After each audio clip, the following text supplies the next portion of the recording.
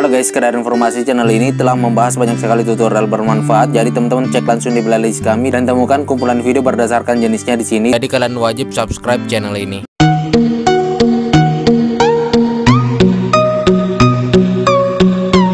Halo guys, balik lagi dengan saya Nisamang dan di video kali ini saya ingin share nih buat teman-teman Gojek yaitu cara update token manual pada aplikasi Tuyul Driver Maps Gold. Nah, di sini handphone teman-teman harus sudah dalam keadaan root.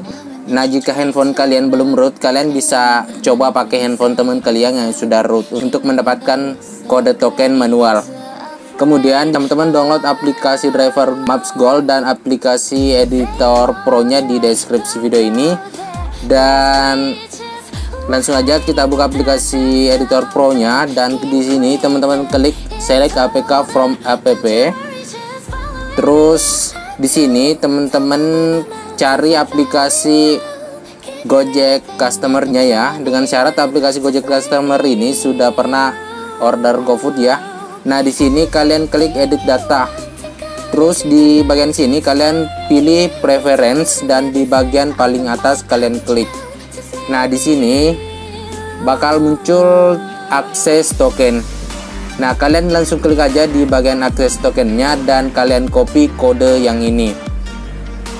Nah, habis itu teman-teman masuk di driver maps goalnya. Di sini kalian klik titik tiga di bagian kanan atas dan klik update token manual. Nah, di sini kalian tinggal paste aja tokennya, kemudian klik update Gojek. Habis itu teman-teman klik GoFood-nya untuk memastikan. Nah, di sini sudah muncul guys jadi seperti itu oke nah satu saran buat teman-teman jika sudah mendapatkan kode tokennya kalian nggak usah nge-share kode tersebut ke orang lain agar awet tokennya Oke, jadi seperti itu. Sekian untuk video ini. Jangan lupa klik like, comment, and subscribe. Wabillahi taufiq wal hidayah. Wassalamualaikum warahmatullahi wabarakatuh.